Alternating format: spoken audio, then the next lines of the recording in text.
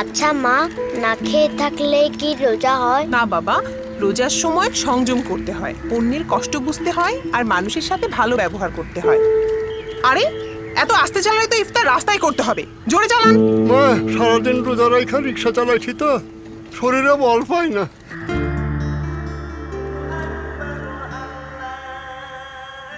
Uncle আম্মা আপনাকে এগুলো দিতে বলেছে।